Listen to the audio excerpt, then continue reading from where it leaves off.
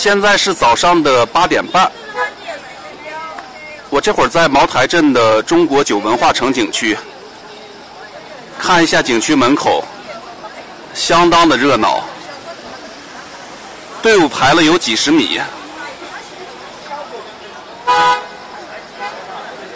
大部分排队的不是为了进去参观，是为了买茅台酒。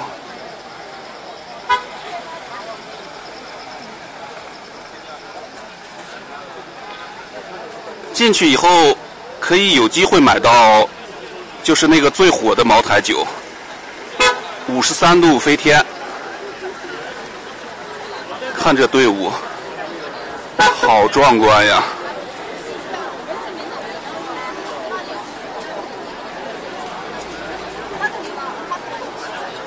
据说这个还不算啥，仁怀市区的比这更夸张。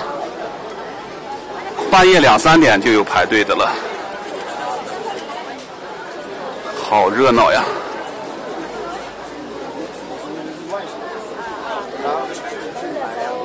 这会儿景区还没开门，九点开门。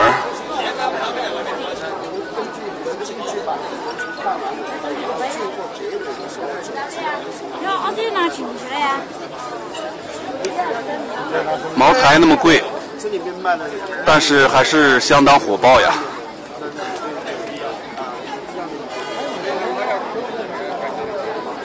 听刚才那个人说，这个国酒文化城里卖的酒品质要比外面卖的要好，也不知道是真的假的。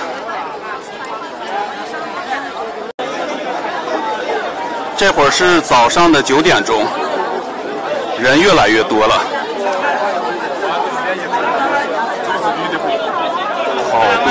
多人呀！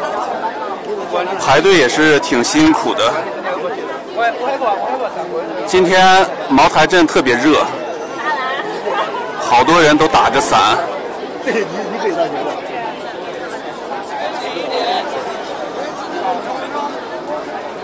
不过对于他们排队也是很值得的，因为里面飞天五十三度是幺四九九。如果买到的话，把它卖掉，利润还是很可观的。飞天五十三度外面卖两千多，一瓶子就可以赚将近一千块。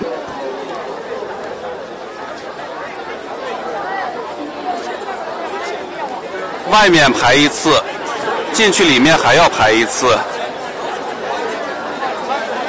反正还是挺辛苦的。天气这么热，好了，就拍到这儿吧。感谢大家的观看。